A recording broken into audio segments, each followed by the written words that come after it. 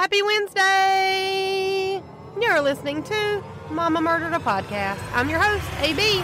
This week on Momma Murdered a Podcast, we'll be covering the case of Candy Montgomery, who was a stereotypical 1970s, 1980s housewife who got bored with her mundane marriage and her life in general. She decided that an affair would fix her boring life completely.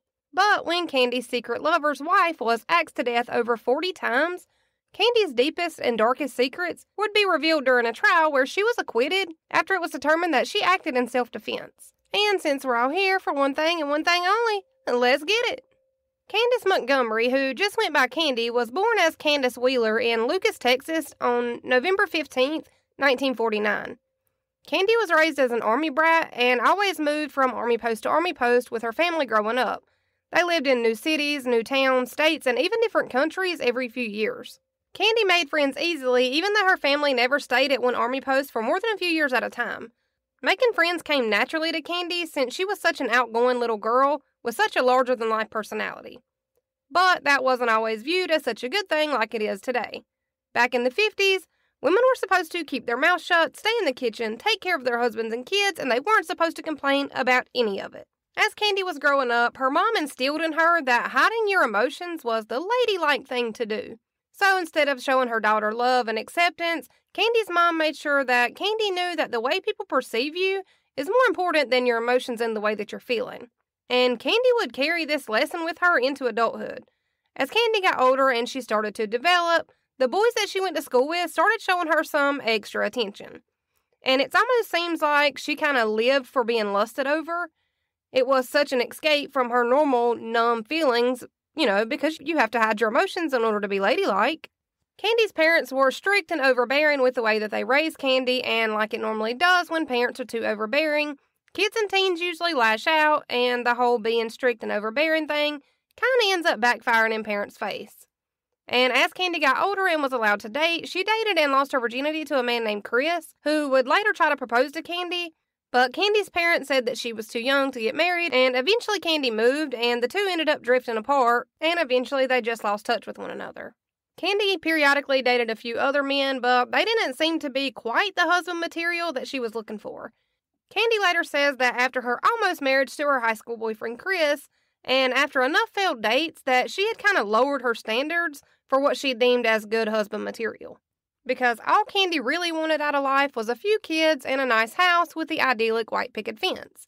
She hadn't really taken into account the fact that she may need a husband to help make the kids, of course, and to pay bills. Candy dated a few good prospects, but these men would eventually be ruled out for things like not making enough money or not being highly educated enough. And Candy had even considered marrying a man later, and she couldn't even recall this man's name when asked about it.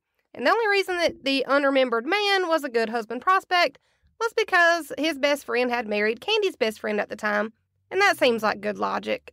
When Candy was 20, she moved out of her parents' house and got her own place in El Paso, Texas. She took a job working as a secretary, which is how she was introduced to her soon to be husband, Pat. A coworker of Candy's was insistent about introducing Candy to her 25 year old son, Pat.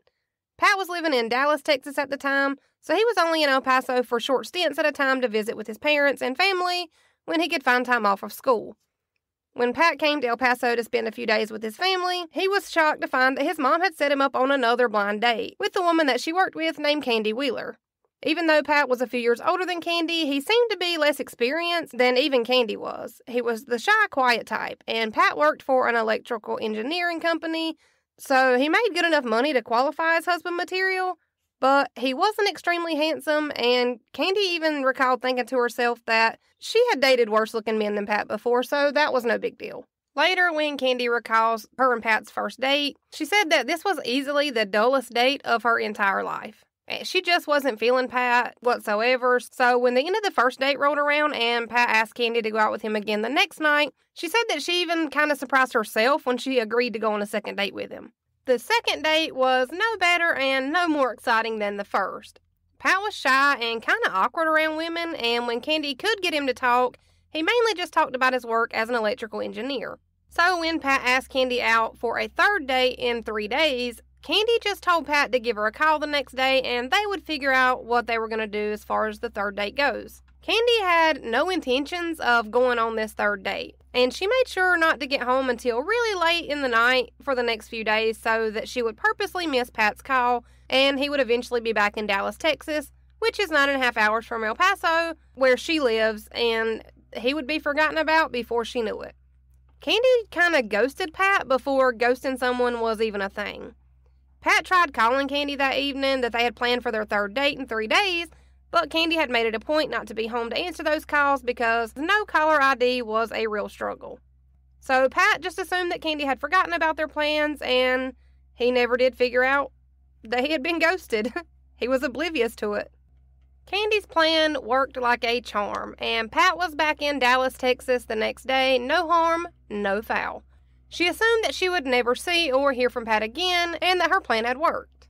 But when he got back home to Dallas, Texas, Pat sent Candy a dozen roses and a pretty cute, funny kind of card that he had written inside of, and it said something along the lines of, I hope you got all of the sand out of your pants, in reference to the beach that they had walked down for their second date together. Where Candy kind of joked later that she would just never get all the sand out of her red pants.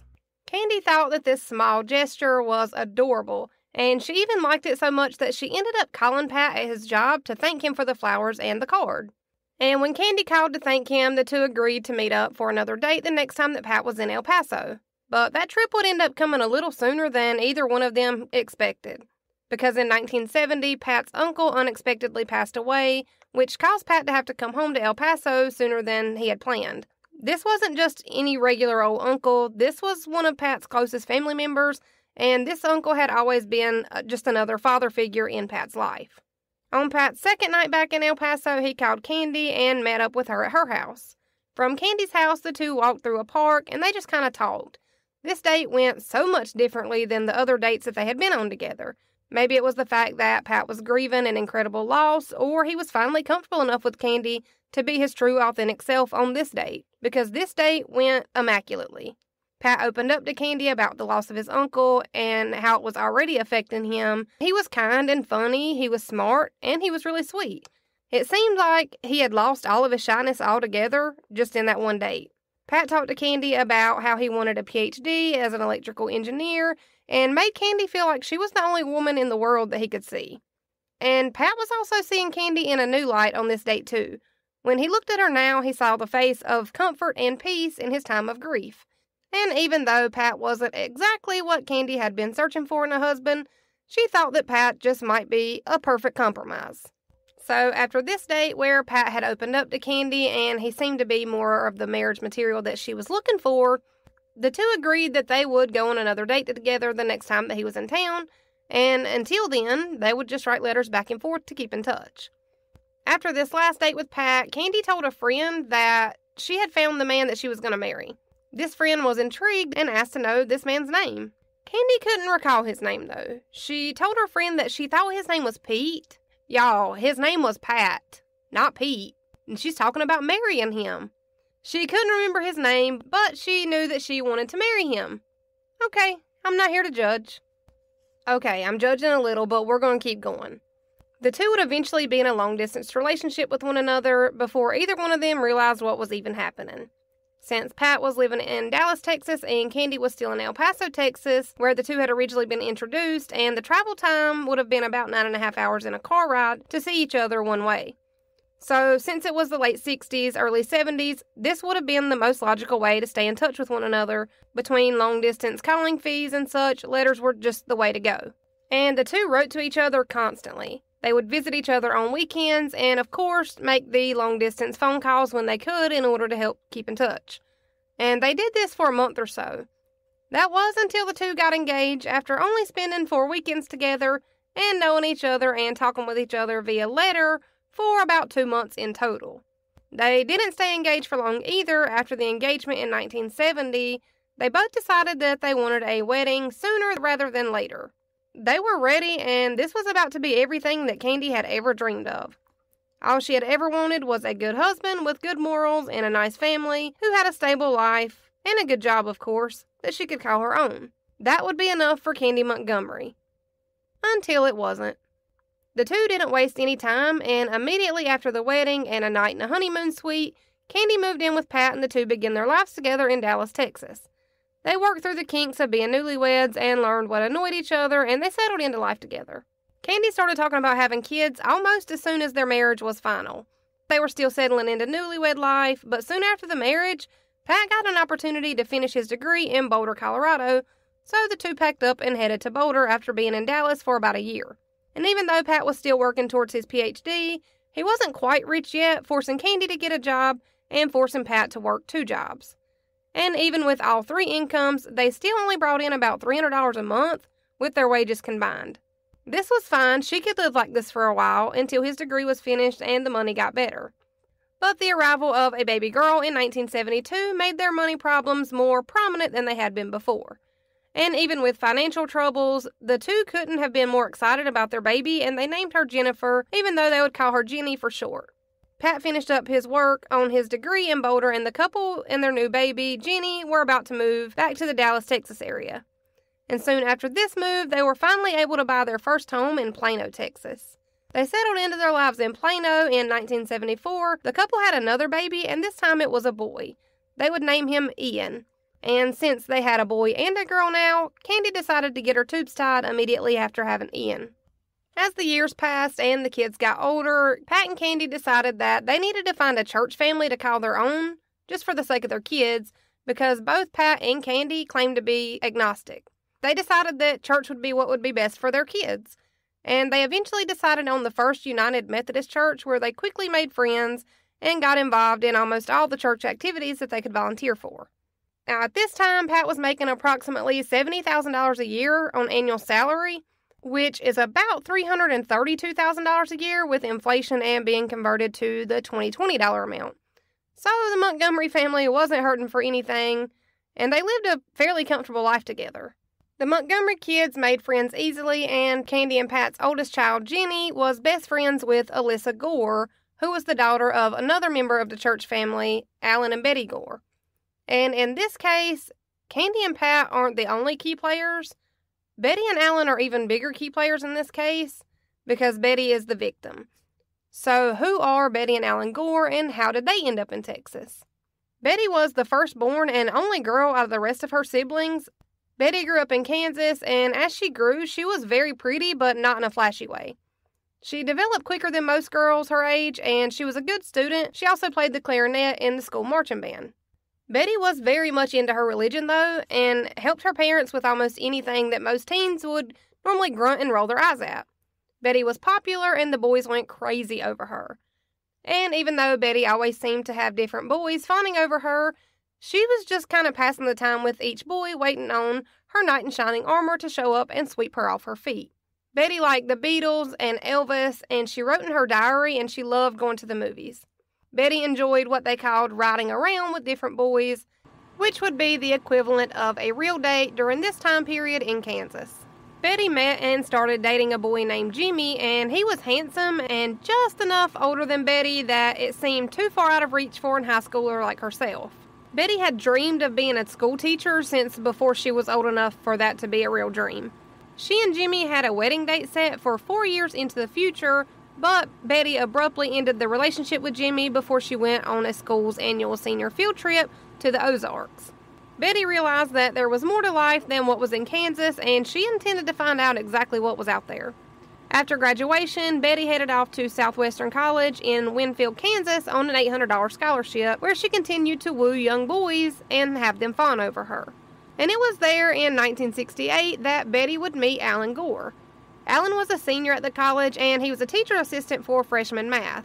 Betty caught Alan's attention from the very first time he laid his eyes on her. She was a natural kind of pretty with a wide smile, and Alan was just too shy to ask Betty out. So when Betty asked Alan if he could tutor her in math, that was basically their happily ever after that neither one of them could have saw coming. Well, their happily ever after wouldn't come until after the first semester of tutoring.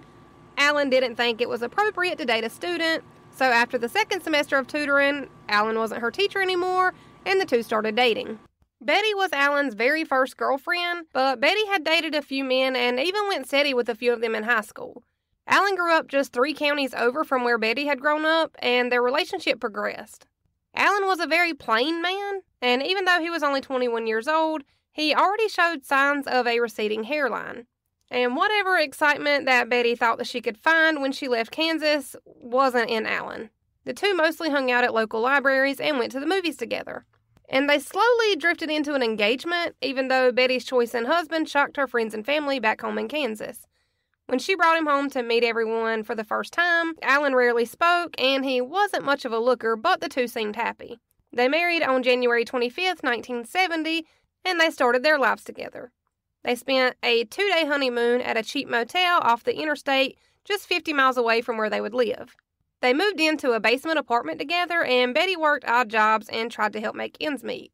Alan got a job offer, and the couple were planning to move for the job offer to Las Cruces, New Mexico. After this move to New Mexico, Alan was sent on a six week business trip, and Betty was not okay with being left alone at all. She did not want to be left alone without her husband, not even for one night. And she made sure that this was no secret. She made it very clear that she didn't like it and she wasn't just going to go along with it without making a fuss about it. Though this was the only way that they could stay afloat and help pay their bills, she still wasn't thrilled about the idea. Alan continued working for this same company, and it seemed like he was going to be working this same job forever. So he decided to send his resume to multiple different American electronic companies across the United States. And one of the only few places that reached back out to him was Collins Radio, which would later merge with Rockwell International, located in Richardson, Texas.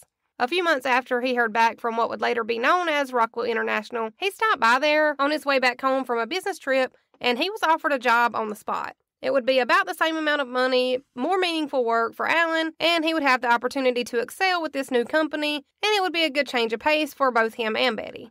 This is when Betty and Alan bought a house and moved to Plano, Texas, which is where they would eventually meet Candy and Pat Montgomery. Betty got a temporary substitute teaching job since the school year was almost over when they moved, and she was able to find a more permanent teaching job over the summer. It was only a few months after Betty and Alan moved to Plano that Betty found out that she was pregnant with their first daughter, who they would name Alyssa. This delivery was extremely hard on Betty, both physically, mentally, and emotionally. And Betty and Alan's first daughter was the same daughter that would inevitably become best friends with Candy and Pat's daughter, Jenny. With Betty's pregnancy and delivery came a large dose of depression, and it didn't seem to go away since she gave birth. No one knew that Betty was suffering from postpartum depression except for her husband, Alan. I feel like in the 70s, if you were to go to the doctor for postpartum depression, they would probably tell your husband to get his overly dramatic wife in check, tell you that you're fine, and suck it up, probably rub some dirt on it. Betty finally did get a job as a permanent teacher to a second grade classroom, but the teaching methods that Betty knew and loved weren't used in the school that she was teaching in. The kids in her class became overbearing and hard to handle. They were extremely disrespectful, and this was just another emotional roller coaster on top of the depression she's already trying to deal with. Betty had a hard time making friends at the school that she was teaching at because a lot of the teachers thought that she was too strict, too disciplined, and that she took the Bible and her religion far too seriously. She was teaching second grade after all, so you have to kind of have some kind of patience for that age range. Alan was still having to go away for days at a time on business trips, leaving Betty home alone, battling depression, with no friends, and a new baby, in a new city where she has no one. That seems like it would be a lot for anybody. It didn't help that Alan was becoming more and more involved in the church that they had found, like Candy and Pat, Betty and Alan had also joined the church just because they thought it would be what was best for their daughter. Alan worked his way up the ranks at the church and was eventually the chairman of the Council of Ministries. Betty was turned down for a teaching position as the new school year approached, and now she's jobless, going through probably what I would guess would be the deepest and darkest depression she's ever experienced. And then Alan was told that he would have to travel out of country for six weeks for work. So that's a nice cherry on top of her Depression Sunday. It was during this trip that Betty called Alan's boss and basically begged him to stop sending Alan on these long business trips and to let him stay and work in town without having to go out of town for business. This is when Alan finally realized that it wasn't just Betty whining, that she had a real extreme anxiety about him being away. And in 1979, Alan finally spoke with his boss and he was assigned a different position where he would be able to work primarily in Dallas and stay home. Betty and Alan sold their house, they quit their church in April of 1977, and they moved to Wylie, Texas. This move to Wylie for the Gore family happened when their daughter Alyssa was about three years old. The family packed up their belongings and their dog named Cheeto, which is the best name I've ever heard for a dog, and they made it to Wylie. This was going to be closer to Betty's new teaching job that she had found, and it seemed like it was going to be a fresh start for both of them.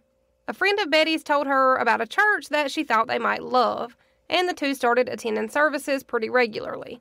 Now, this would be the same Methodist church where Candy and Pat Montgomery also attended. Candy and Betty were the same age, they both had young girls, and they probably had a lot more in common than what either one of them realized. They should have been friends. They probably could have been friends, but they weren't. Betty seemed too snobby and too high and mighty to be somebody that Candy could befriend.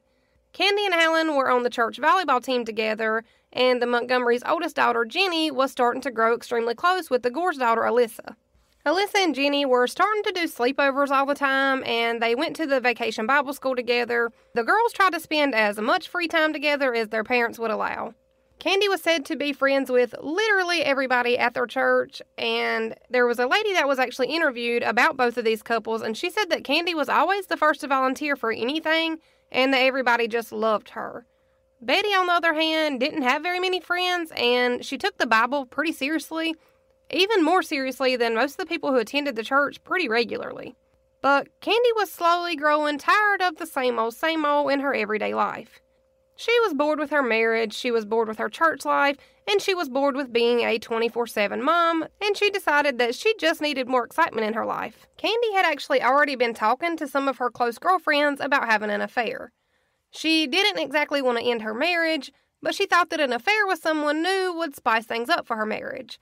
She was talking pretty openly about having an affair, but only for the sex, and she talked with these friends about it for weeks and weeks. Candy just wanted to find a man to have an affair with. Not someone to fall in love with, because she had a husband for that. Just someone to have sex with, because apparently you can't have sex with your husband? Uh, I'm not sure. She wanted to have somebody that she could have sex with that ended with torn off clothes and loud moans, and basically somebody that just wasn't her husband, Pat.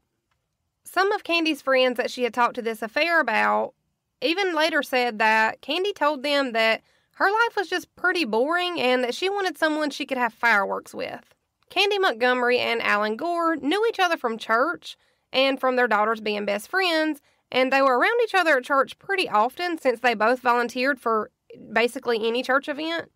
And Candy started to notice Alan in a more sexual way at one of these volleyball practices where they were spending more of their time without their spouses around and she wondered if Alan might be the perfect man to have this affair with. At this volleyball practice that the church was holding, she accidentally bumped into Alan where they were both going for the same hit of the ball on the volleyball court. She noticed that Alan smelled nice, and it also didn't hurt that he wasn't her husband. She figured it would at least be worth a try. Alan would be Candy's first option, but if that didn't work, she would just find someone else. And when Candy finally got the chance to talk to Alan, she made him the deal of a lifetime. She basically made it pretty clear that she just wanted crazy hot, steamy sex without the relationship part. No feelings, no strings attached, just good old fashioned hot, steamy sex. That's all she wanted. Which is another thing I don't get because when you look at pictures, it's not like Alan's like Eminem hot. He's very average Joe with a really bad receding hairline and he kind of looks like the guy that you'd picture your friend's dad looking like. He's nothing special to look at. So if you're going to risk your entire marriage on an affair, why not make it somebody that's at least nice to look at? Alan, of course, seemed to be all in for the just sex part with no strings attached, but only in theory. Almost like it sounded like a good idea for a few different reasons, but in other ways it sounded like a terrible idea. So he's at least using his brain and not his Johnson to consider the pros and cons. Alan's wife Betty only wanted to have sex when she was at her most fertile so that she would be more likely to get pregnant with her second child. But even when she was her most fertile and the two did have sex, it was very vanilla, if you catch my drift. Like she only wanted to have sex to have another baby. But at the same time, let's remember there's a lot of things going on for Betty as far as depression and dealing with Alan leaving for work. So there's no way to place blame on Betty for this. She's also trying to line up her second pregnancy with the time that she would be out of school for summer so that she wouldn't have to miss work. So, between Betty suffering from postpartum depression and feeling alone and pretty useless at her job, and being left alone all the time while her husband's either at church or traveling for work, of course she's not jumping his bones every time he walks through the door. And it may just be a sign of the times, but it seems like Betty needed some kind of medical professional diagnosis for her depression and possibly a medical treatment for whatever she was going through. But like I said, probably just a sign of the times. Alan told Candy that he didn't think that he could have an affair with her because he didn't think he could hurt Betty in that way. He explained that Betty was already going through a lot and he didn't want to put any more on her, and he especially didn't want to hurt her. So Candy told him that she understood completely and that she would never bring up the affair to him again. Simple enough, right? And honestly, before Alan told her this, I honestly don't think that Candy had even thought about how the affair would affect her husband Pat or Alan's wife Betty before this. I mean, I honestly don't think it even crossed her mind. Candy and Pat's sex life had died down some, and they had just kind of gotten to where they coexisted in the same house. And Alan and Candy had been talking about this in Candy's car. So, as Alan goes to get out of her car, and he and Candy agreed that they would never speak of this affair thing again, Alan leaned over the seat and kissed Candy.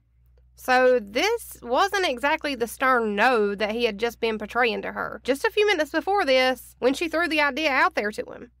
And it was a few weeks after Candy made her proposal of an affair to Alan that he had come to realize that his marriage was rocky at best, and that he had never been with anyone sexually besides Betty. And he couldn't help but wonder if it wouldn't kind of be fun to be in a secret affair with no strings attached.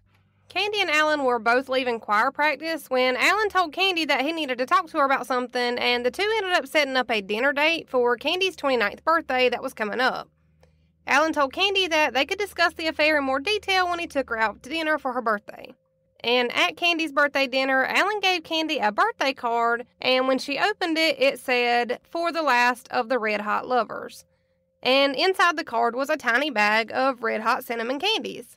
So naturally, Candy thought that this was an adorable gesture, but she also thought that this was Alan's way of saying that he had made his mind up and that he was ready to move forward with their plans of having an affair. But during the dinner, as the conversation turned more towards talk of the affair and its details, Alan still seemed really hesitant and not completely on board still. And in the days and weeks after this birthday dinner between Candy and Alan, they went about their normal lives with their spouses but they were talking with each other on the phone multiple times a day. Alan still needed persuading, and he would call Candy and ask her about small details that he hadn't thought of before in regards to the affair. Eventually, Candy was growing pretty tired of playing 21 questions with Alan every day when he called, and she was ready to either go for it or stop talking about it and find someone else to have the affair with. She was done waiting, but she still had one more trick up her sleeve that she could use to try to convince him.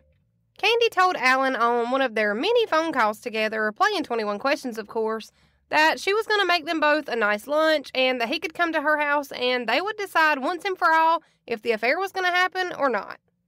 She ended the call by telling Alan, quote, You know, if you don't go to bed with me pretty soon, Alan, then you'll never be able to live up to the expectation I have of you in bed. She laughed and Alan said, quote, I know, I've thought of that. And the two proceeded to hang up the phone call.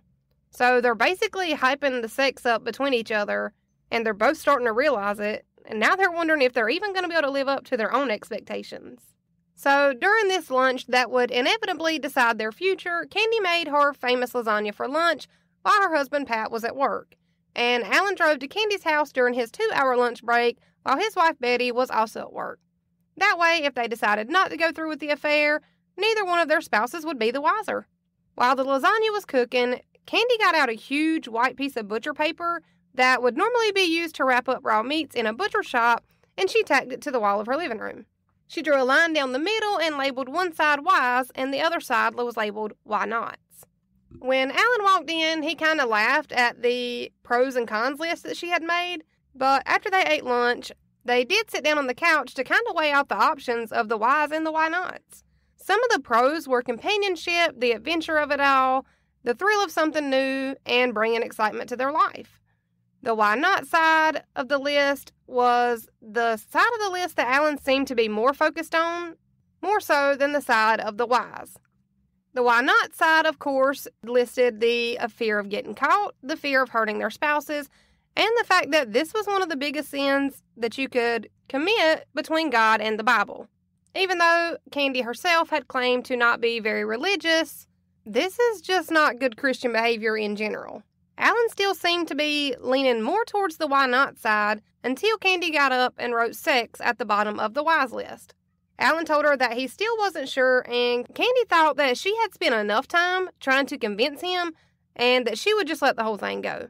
That was until a few days later, after the infamous pros and cons list lunch date at Candy's house, when Alan called Candy to let her know that he had finally decided on going forward with the affair, but only after the two laid down some extensive rules that they would follow as if they were written by Congress. Alan's biggest and arguably most important rule is that there would be absolutely no emotions involved whatsoever. This was strictly for sex and nothing more. Another equally important rule is that if either one of them decided to call the affair quits for any reason, that they would both agree and there would be no questions asked about why the affair was being cut off. Some more rules that were laid out were that the two would split the cost of the motel room, the gas, etc., and they would split those costs equally. And that if either one of them started taking unnecessary risk, that the affair would be over without question. Candy would be in charge of making basically a full course meal lunch and booking the motel rooms for their stay. And lastly, Alan and Candy would only meet up at the agreed upon motel room once every other week for the full two hours that Alan had off on his lunch break, which who's giving out two hour lunch breaks? I need to get a job like that. Candy and Alan finally agreed that their affair would start formally on December 12, 1978, at the Continental Inn. And for the first of many of the two's sexual rendezvous, Candy packed a full course meal for lunch. She prepared marinated chicken, a fresh salad with tomatoes and bacon bits. Of course, she had the Thousand Island dressing, along with white wine and cheesecake for dessert. She also packed along all the silverware, tablecloths, disposable cups, and napkins that they would need for their lunch.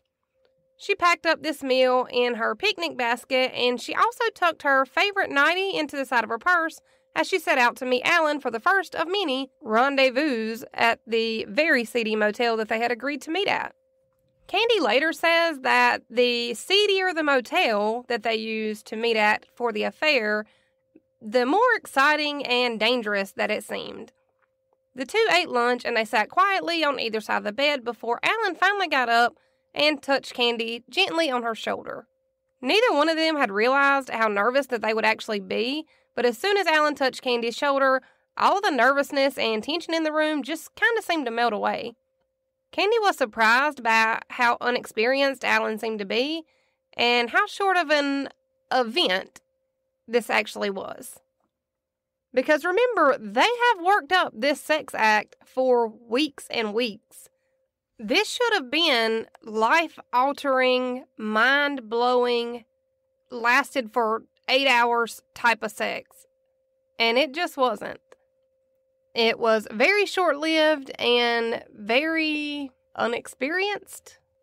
But Alan was gentle and he was generous, and Candy figured that with time he wouldn't be so nervous and she hoped that maybe the next time, or even later on in the future, their sexy time would last a little longer. She also thought that Alan was very teachable. And by the time they both left the Continental Inn, they were giddy and excited for the next time that they would be able to get the chance to do this in exactly two weeks. The next time they would meet up for sex in a seedy motel, it would be at the Como Motel. And they would meet up this time right before the Christmas holidays. Candy had noticed that the Como Hotel was a smaller and even seedier motel than the one they had originally met at the first time. And she was excited to tell Alan that the Como Motel actually ended up being about two to three dollars cheaper. So when Candy called Alan at his job to let her know that she was waiting for him with lunch prepared, she also let him know that she had been able to find a cheaper room because remember, they are splitting all these expenses equally. even though I would kind of be willing to bet my left leg that Alan didn't pay for one red penny in regard to their elaborate lunches that Candy would always make and bring with her. Maybe just another sign of the times, but I could be wrong. Maybe he paid for lunch too. And the two would continue to meet up for sex every other week for months. But, like it eventually does, the sex brought the two of them closer together. They eventually got to where they would talk about things that were bothering them in their separate marriages. They would talk about their kids, the happenings at the church, and about their feelings and plans for the future. Candy was somehow able to still speak to Alan's wife Betty at church gatherings and when Candy's daughter and Betty's daughter planned sleepovers, and Alan was still able to speak to Candy's husband Pat about normal things when they saw each other as well.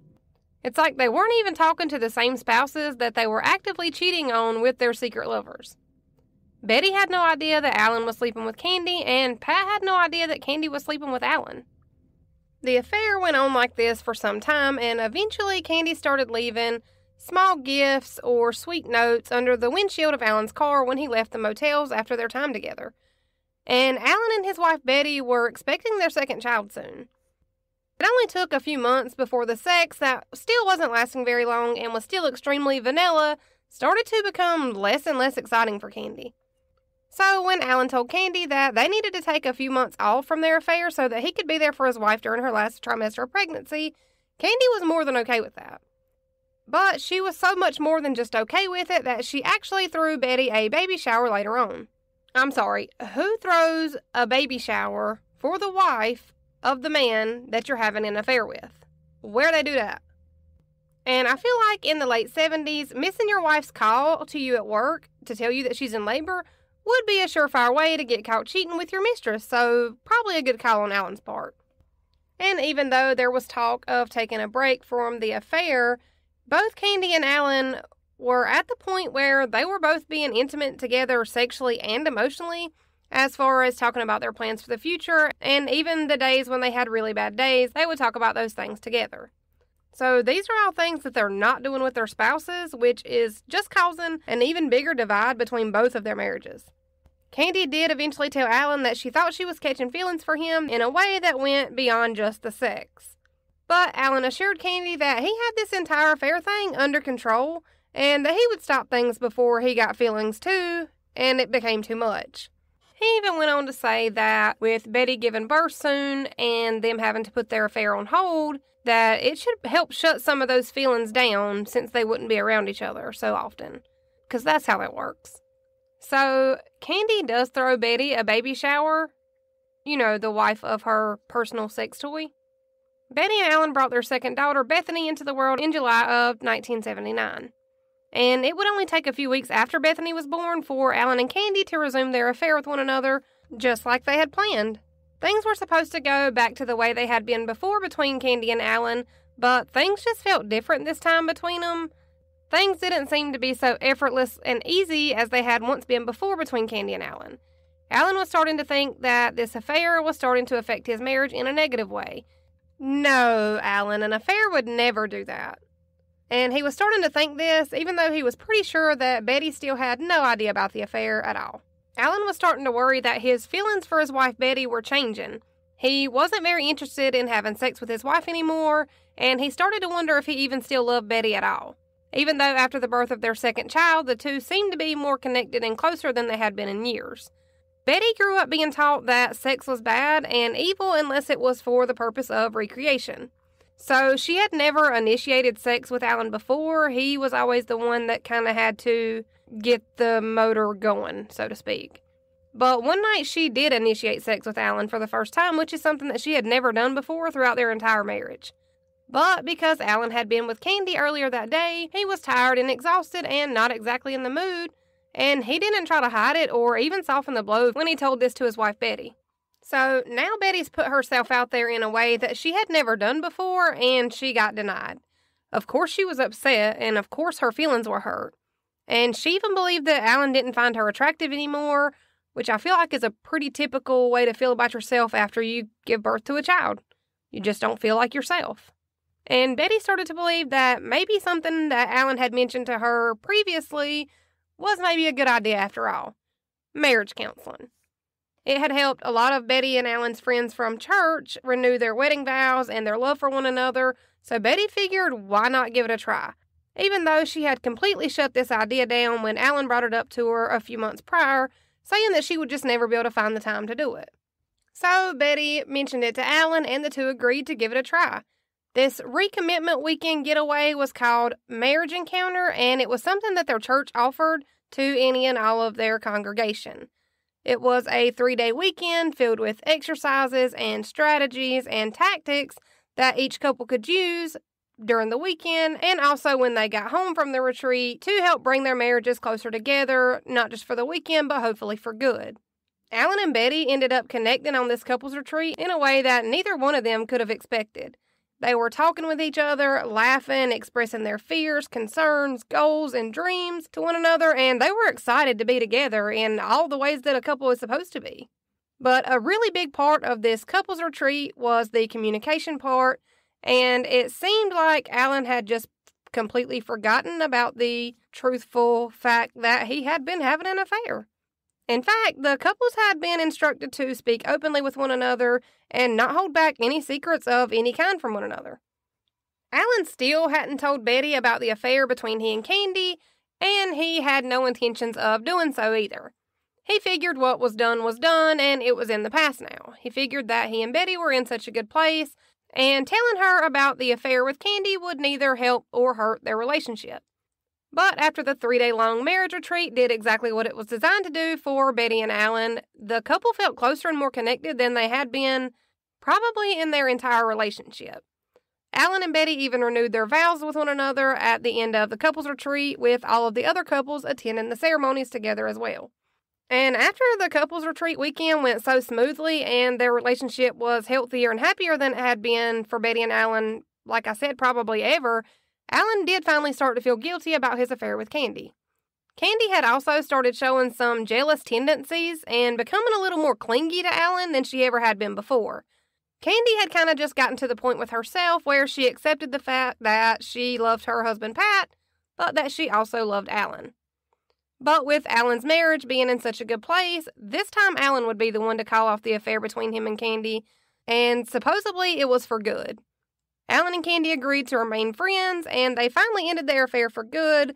Before it was all said and done, though, Alan had written Candy a sort of goodbye love letter, and writing letters to your spouse was part of the homework that the couples retreat had given to Betty and Alan as a sort of lifelong homework assignment to take home and continue to do.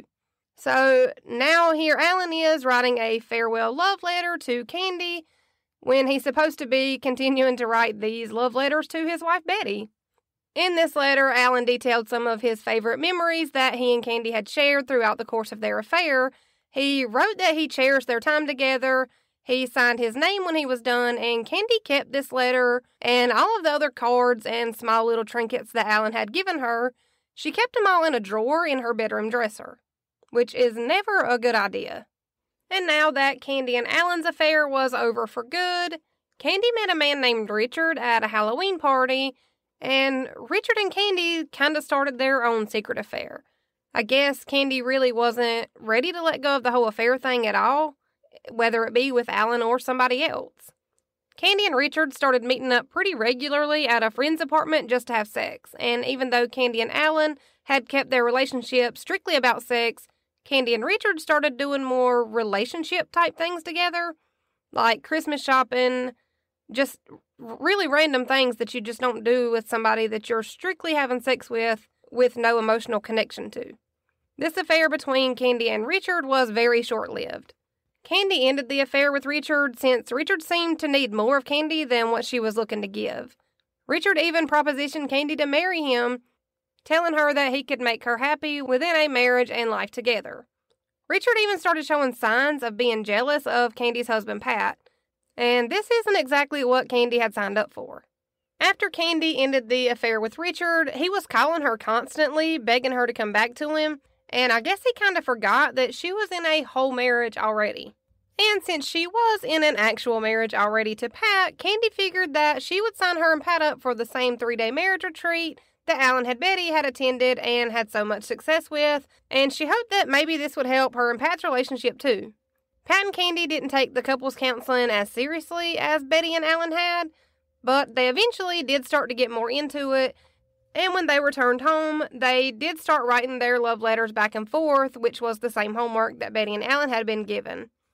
But after a week or so of doing these letters, they decided that they were in a good enough place to just stop the homework and the counseling tactics that they had been taught at the retreat. Candy talked with some of her closest girlfriends that knew about the affair, and she told them that she thought the affair was what she was looking for for a while, but that after a little bit, the sex felt routine and it just wasn't as exciting as it was in the beginning. So this time she figured instead of an affair, Candy would find something just for herself to try to find some kind of fulfillment for her life. She took some writing classes, she tried painting, and th- none of those things seemed to really fill the void that she was looking to fill. So, Candy and her best friend Sherry decided to start a small kind of home improvement business where they would kind of go in and repaint houses, organize things inside the clients' homes like closets and kitchens. They would replace wallpaper, just little ins and outs that they could do to make extra money and fill time and voids, hopefully. Candy figured that if she got more involved in church, that it would occupy her time and some of her energy, so that's exactly what she did. Alan's wife Betty had invited Candy and Pat over for dinner as a sort of uh, marriage retreat dinner celebration between both couples. And Pat and Betty were still none the wiser about the affair between Candy and Alan. During this dinner, Alan gave Candy a greeting card that said something along the lines of he was glad to have a friend like her in his life. And when Candy and Pat got home from this dinner with Betty and Alan, Candy put the greeting card in the same dresser drawer where she had kept all of the other cards and letters and little mementos that Alan had given her, and it wouldn't take very long for Candy's little drawer of secrets to come back and backfire on her completely. Because in April of 1980, Candy signed up for an all women's Bible retreat and left Pat at home with the kids. For the first time in a long time, he was there with the kids alone. And with Candy gone, even for this short amount of time, he was just so used to her being there, and with her being away at this retreat, he was starting to miss his wife. This is when Pat started reminiscing about when he and Candy had first met and bringing back all the memories of the couple's first summer together. And he was taking a trip down memory lane, so he wanted to read some of their old love letters, look at some of their old trinkets and pictures from when they had first gotten together. Pat went to the spot where Candy normally kept the box of love letters and pictures and trinkets so that he could relive some of their earliest memories together. But the box wasn't in the place where Candy normally kept it, and he was kind of confused when he couldn't find it. But Candy had just recently gotten into redecorating and organizing, especially since she and Sherry had opened their small business together, so Pat figured he would just look around and find it. Pat opened a few of the dresser drawers and he plundered through some of their old stuff and in places where he thought the box might be. And when Pat opened one of the dresser drawers, he saw an envelope and he was a little confused as to why this letter wasn't in the box with the rest of their letters, but he was excited to read any of their earlier letters regardless. He was even more confused though when he pulled the letter out of the envelope and unfolded the letter to see that this was a letter written to Candy, but it wasn't in Pat's handwriting. As Pat read through this letter, the letter detailed different sex acts it even mentioned the Como Motel where Alan and Candy used to meet up. The letter even had the word affair written in it. It was also written in the letter that the times that the two shared together would be cherished forever. And as if this wasn't enough of a gut punch, towards the bottom of the letter, Alan had talked about how he would always cherish the little love is stick figure greeting cards that they had exchanged throughout their affair together. At the bottom of the letter, it was signed Alan Gore and it was dated for October 1979. One of the biggest reasons that this entire letter was a slap to the face, besides the obvious reasons of the emotional and physical affair, was the love is stick figure greeting cards that Pat found along with all the letters. Candy and Pat had been exchanging those same cute little love is greeting cards for years and years. It was one of those things where it's kind of like it's our thing. So for her to be doing our thing with somebody else had to have been a, a hit to the chest. Because not only were the love is greeting cards their thing, but now he's finding out that she had been doing those same things with Alan for months now. Pat went through all of the normal emotions that you would think of when you find out that your wife's been cheating on you. He went from mad to sad to lonely to hurt, upset, betrayed, and he even felt a little foolish for having Alan sleep with his wife and then smile in his face like it was no big deal. Pat is a better man than most because he knew his wife better than anyone, so he knew how to best approach the situation of confronting Candy about the affair. Pat had never been good with spoken words, and when he wrote his words down, they seemed to come across in a way that they didn't when he spoke. So he started writing his own letter to Candy. In this letter, Pat blamed himself for Candy's affair. He blamed himself for not being there for her emotionally, physically, or mentally, and because of that, she was forced to go find these comforts in another man. Pat even apologized to Candy for making her feel like it was a task for her to be his wife, and for not being there for her in the ways that she needed him to be. Pat ended this letter to Candy by confessing his love for her, his forgiveness for her, and his acceptance of the affair being his fault. Pat sat and waited until Candy got home, and after she got home, he left the house to get her a dozen roses. When Pat got home, he hid the letter and the roses underneath the couple's bed until the kids were in the bed and asleep. When Candy walked into their bedroom, Pat just handed Candy the letter and the flowers, and he turned around and walked away to give her time to read the letter and process it all. Candy read through Pat's letter over and over again until she finally just broke down crying. When Pat came back into the room, and after Candy was able to speak through her tears, she told him that she was sorry, that she never meant to hurt him, and that she was embarrassed by her actions. Pat accepted Candy's apology, and the two agreed to work hard to get their relationship back to a good place. Candy and Pat had planned a vacation together, and things were back to normal and better than they had been before. Candy eventually did have to tell Alan that Pat knew about their affair, but that since it was over now, there was no reason for things to be awkward. So the two couples still remained friendly at church, and their daughters were still always having sleepovers and spending time together. Things seemed to be going about as normally as you could expect for a 1980s married couple, and it seemed like things were going to work themselves out for both couples. But eventually, Alan would be called on another business trip, and he would have to leave Betty at home alone, even though he knew how much she hated that. When Alan left for this trip on Friday, June 13th in 1980, he had no way of knowing that he would never see his wife alive again. As he watched Betty and his 11 month old daughter Bethany wave goodbye from his rearview mirror as he drove towards the airport to board his plane. It would be later that evening when he would find out that his wife Betty had been axed to death over 40 times and was dead. And this is where we will stop for Candy Montgomery Part 1. And if you're as intrigued by this case as I am, I will see you next week, same time, same place, next Wednesday for Part 2. See you then. That's how my Momma murdered a podcast.